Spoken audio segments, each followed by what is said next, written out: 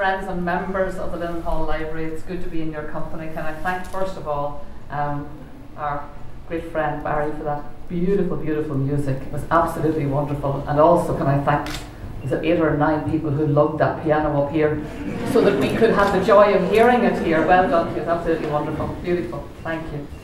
And thank you so much all for being here um, on a day that's very special for Martin and I because this is my last uh, time to stand in my native city um, as President of Ireland. And um, so it's a very, very beautiful and very special day for us. But particularly special that we would come to the Linen Hall Library. As you said, we were honouring and are honouring a, a long promise, a long-term promise. One of the reasons why I wanted to come to the Linen Hall Library and to say thank you to the Linen Hall Library is very, very long time ago. I've always loved libraries since I was a youngster. I've loved books, I've loved, loved libraries. Many of us here, we love the feel of a library. But growing up in Belfast, as some of you will know, it was a place of strong opinions. It, we were a proselytizing people, can I put it that way?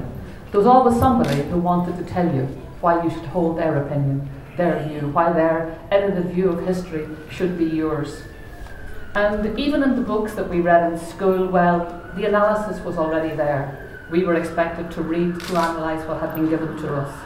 And then I went to study law, and as a, as a famous son of the city, um, once remarked, uh, subsequently to become a, a Don at Trinity College, um, conscious I am that a few of my former students are here listening, um, but uh, he once said that, um, that it was no accident that uh, the founding faculties of the Queen's University of Belfast, which I love as an institution, but it was no accident that the founding faculties were medicine, I think he said agriculture and law, in none of which he said you would ever encounter an idea.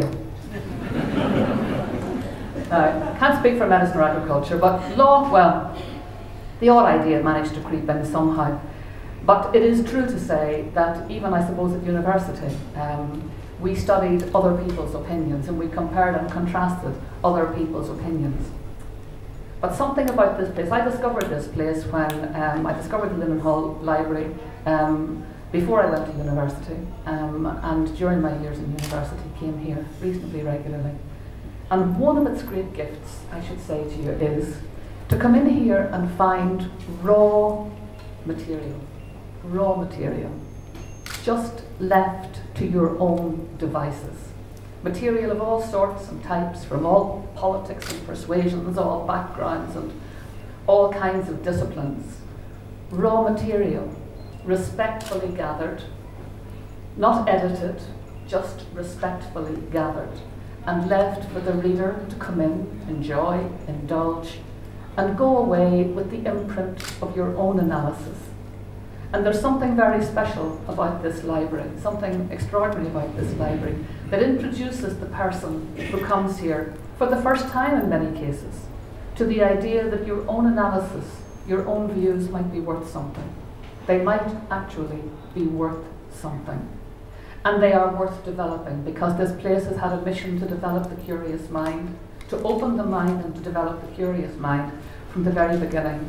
And that is exactly what it has done such a refuge, such a shelter from the storm so often going out on the, on the streets out there. This place has, I think, for many people had and held very special memories.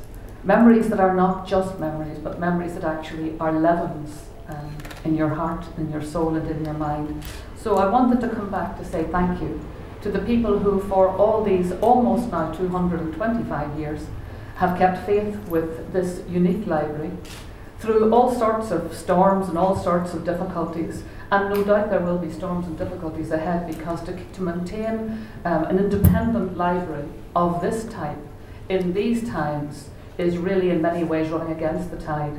But it has always stood as a sign of contradiction. That's always been its role, to be a sign and a place of contradiction, where you could come in out of the maelstrom and find your feet inside a space, an intellectual space, that was respectful of all views, and in particular respectful of you as you sought to find your own feet in the world of opinions.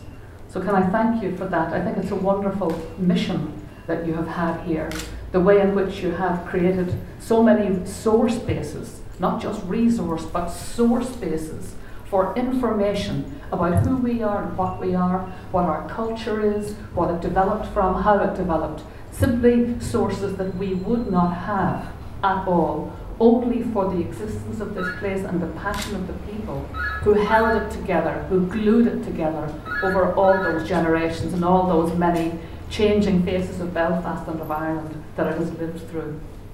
So, can I thank you, um, all those what they call the worthy artisans of Belfast who um, established this place, and all the worthy people, the good people since, who have given it life, given it breath, who have opened it up in so many ways for events like this. And I remember coming to so many other events, poetry readings, and all sorts of things that happened here.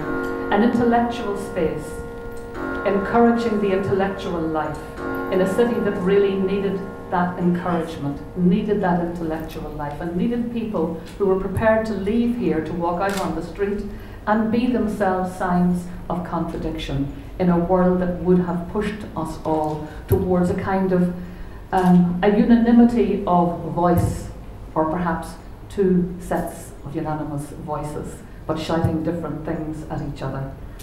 That, that world was not the world of the Linen Library.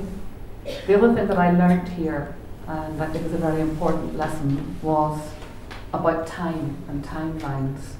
And this is one of the great gifts of the library here also, is to realise, first of all, our place in the world of the, the world that we inhabit, that we just are inserted in for whatever number of years are available to us.